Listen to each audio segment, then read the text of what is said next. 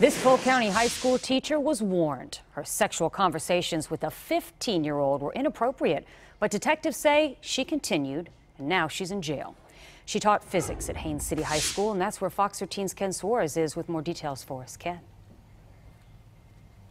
You know, somebody's going to give you a second chance. Probably the smart idea is to take it, you move on, and hopefully you don't make the same mistake a second time. But the teacher we're talking about here tonight, well, apparently that lesson went right over her head. Nicole Dunlap? And this is where Robin Dunlap ended up in jailhouse blues, charged with crimes against a child, felonies.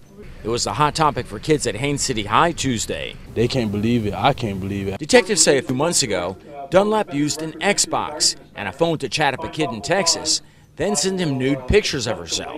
That's bad, you know? It's bad, because it could have been my child. I wouldn't have liked it at all. At first, Dunlap thought the boy was 19. That's what he told her.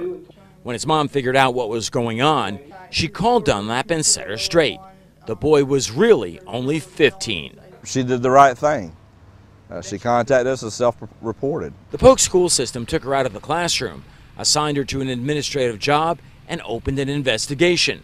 But criminally, it seemed like she was off the hook, but not for long. Investigators say she kept playing with fire, having extremely graphic conversations with the boy about sex. If they told you, why would you go and do that? We're not going to tell you what she told him to do, but listen to how the chief sums it up.